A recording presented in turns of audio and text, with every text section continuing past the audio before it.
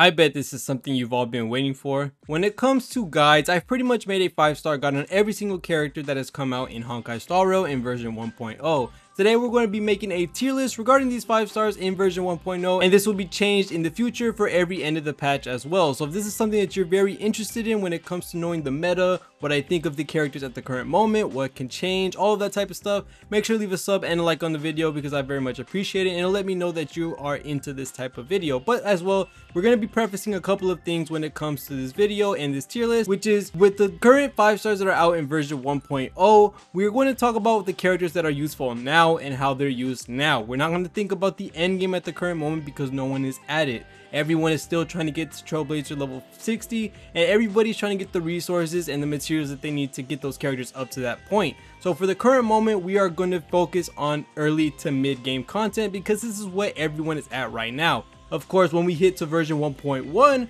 we might start seeing a lot of these characters in their end game status, see what teams that are going to be built with all of the supports that you're going to be building in the future, and of course other things like that. So let's go ahead and start with the bottom of the list, which is housed by one character, which I think a lot of you probably already know, is going to be Himeko. Now Himeko, in all honesty, I do think that she is probably the worst standard 5 star at the current moment, but I do want to preface one thing. I do think she's going to get stronger in the future for sure because of one thing, and that is because of the mode Memory of Chaos. Now Memory of Chaos is a very very difficult mode where they really want you to use the elements that the enemies are weakness to or they have weakness to and this is something that I think she is going to excel at in the future. With her having an AoE fire ult and her having AoE skill, she's going to be able to break these shields out and of course use her follow-up attack to do even more damage to the boss if they have fire weakness. I do think in the future when everyone has their Himeko geared up with the right relics, she might be very strong but at the moment she does not do enough damage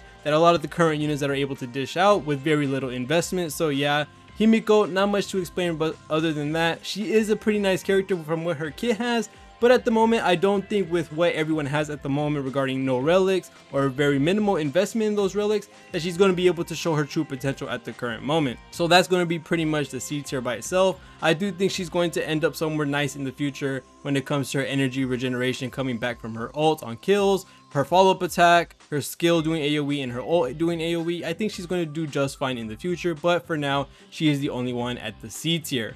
At the bottom of B tier, we are going to have someone who I thought was very, very busted and broken until, of course, Memory of Chaos appeared, which showed a big highlight in why this character is going to be at the bottom, which is Clara. Now Clara is a really nice character of course with her niche of follow-up attacks coming from her counter. She is a very strong unit and a very tanky one and does a lot of damage to a lot of enemies. From her ult to her skill, she does a lot of physical damage and she's one of the best physical damage dealers but her mechanic and her teams don't really line up with a lot of the units that are currently out at the moment and also can basically waste a lot of turns when it comes to Memory of Chaos. Now Memory of Chaos is going to be something that I'm going to be basing a lot of these characters off of just because it is going to be the slightly endgame content or it is the endgame content for what we know right now. A lot of people can't get past really far into it at the current moment, like I said, with minimal investment. But at the moment, this is the only endgame we know of so far. So at the moment, Clara is at the bottom of B tier because she is going to be wasting a lot of the turns that she has with her because you have characters that are going to be neglecting her actual passive. Gepard takes away taunt with his own native taunt and also March 7th freezes enemies which make them slower to attack. So with these two being one of her best teammates, with her being with teammates that take away, you know, these type of shields or take away the aggro with, you know, Fire MC needing it, Gepard needing it, all these other characters having taunts, is going to throw off Clara and her turn restriction for you to get the max rewards in a lot of these different modes such as Forgotten Halls and Memory of Chaos. Now the next character at the top of B tier is going to be Yanqing. Now I do think Yanqing is a very very strong DPS, especially the solo DPS because not only does he have almost 75% native crit rate, this dude has so much you barely need any on your artifacts or your relics this is insane to have on him. And he also can be built with straight crit damage. So yes, he is going to be doing some nuking type damage in the future. I do think he's a very, very strong early to mid game character. But at the moment with the other DPSs that are in the game, he has to be put somewhere and he's going to be at the B tier he is very strong. He does have that nuking capability with how much crit rate he has on him.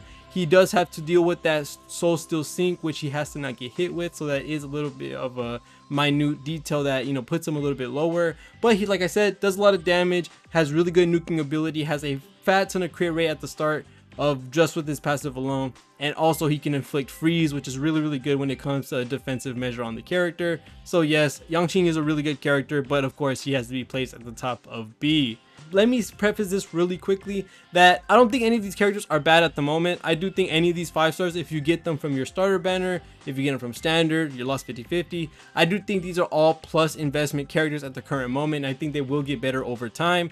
But at the moment, with how people have their investment in these characters and how they're going to be performing at the current moment, I do think that these are going to be where their placements are in the game for sure at the moment.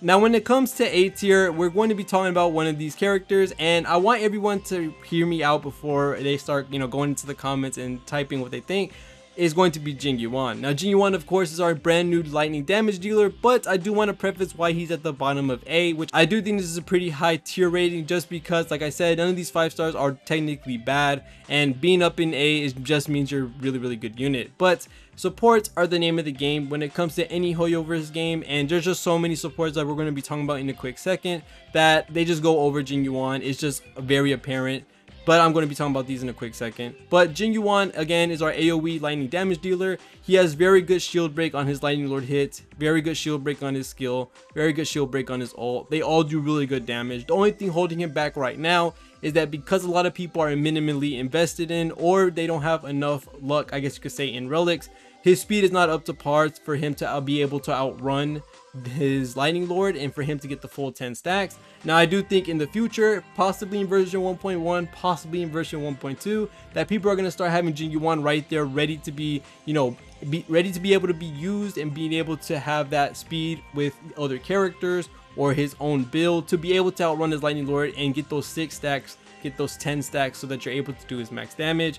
But overall his lightning lord mechanic isn't what's holding him back. It's just the next few units that i'm going to be talking about are just way too good. They do so much for the team. They can be placed on any team, and I'm about to explain what they are. The next one is going to be Welt. Now, Welt is a very, very strong unit by far. One of the best slowers, one of the strongest slowers, one of the strongest debuffers, one of the strongest buffers in the game by far. He has the ability to slow before the fight starts. He has the ability to slow enemies on his ult. He has the ability to buff damage dealt on his ult he just does so much and he does amazing shield break on his skill, being able to hit multiple enemies at the same time, just like Asta. He has very good set of moves in his kit that he's able to do so much in the team. He has a lot of AoE. He's able to inflict that slow, get you more turns, make it so that enemies aren't able to move. He's just an overall amazing character. Now with 100%, I do think he should be placed a little bit higher, but at the moment we do know Luocha and Yukong are going to be imaginary units, so we don't want to say that yes, we should put him at the very top of the list just because he's imaginary. He's the only imaginary.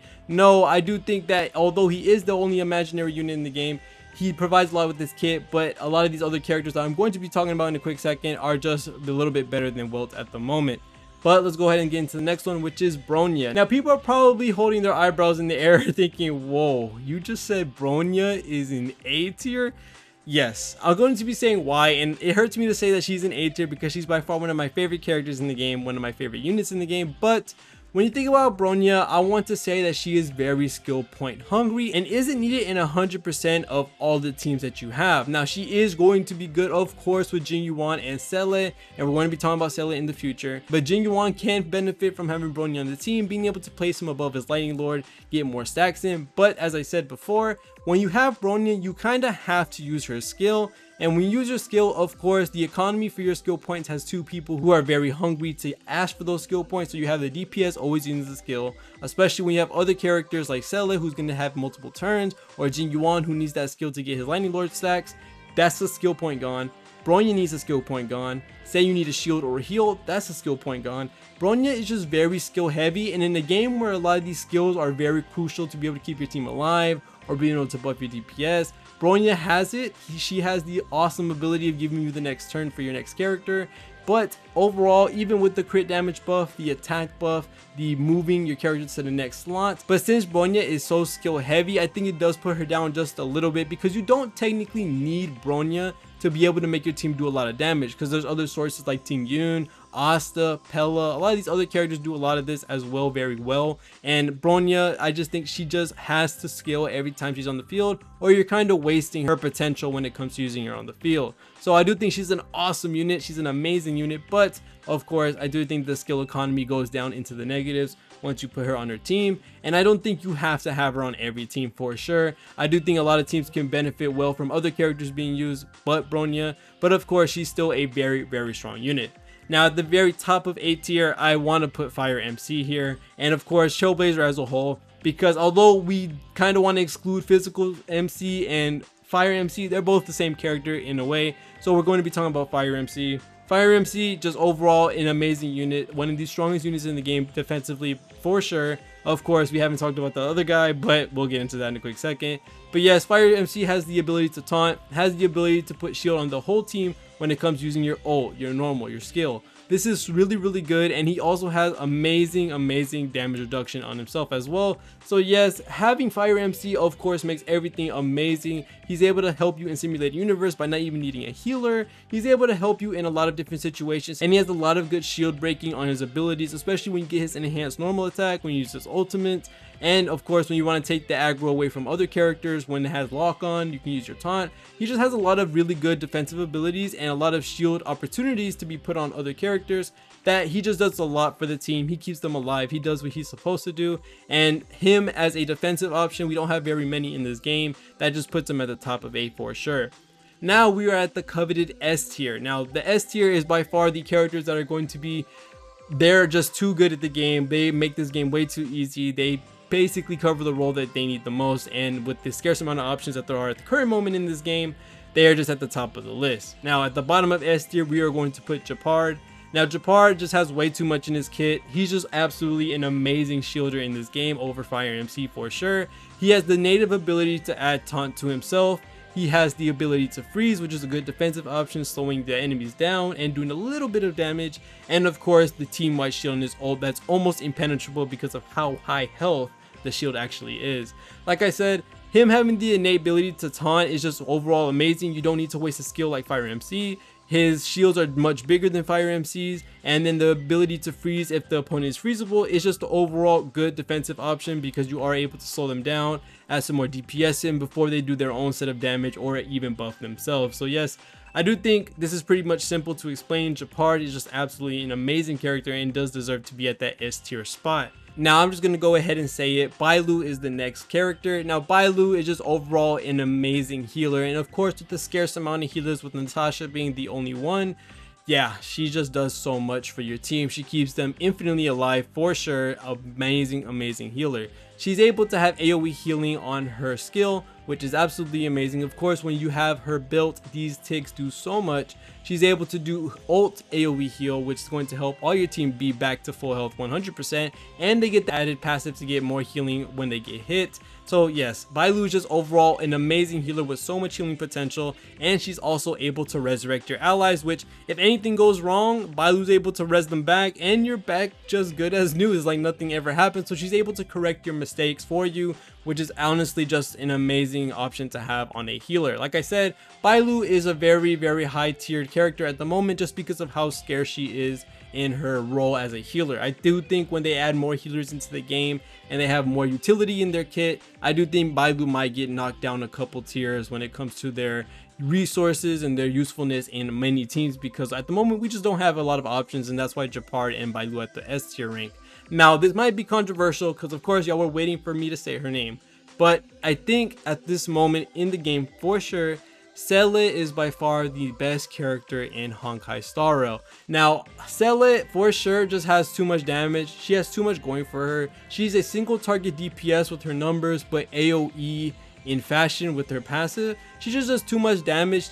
She doesn't allow characters to get their own turn because she's able to, you know, use her skill and give her speed back up. Get the resurgence buff and do another kill. Use your ult, take another kill, get her resurgence buff again, get another kill and then say you have Bronya or you have another speed booster, she might be at the top of the list and then she starts going again. She's just overall one of the best characters in the game for sure and even with the minimally invested Seele you're able to run through mobs of enemies with just using her by herself and with even the four star pieces or the five star pieces of the quantum set which I do think quantum characters are going to be way too high in the tier list in the future just because of their relic pieces and that's going to be ignoring defense now I'm trying not to keep that as a part of her rating but you just gotta remember that is a side piece of like, that's crazy to ignore 20% defense if you have quantum weakness and by native 10% from the 4 piece set.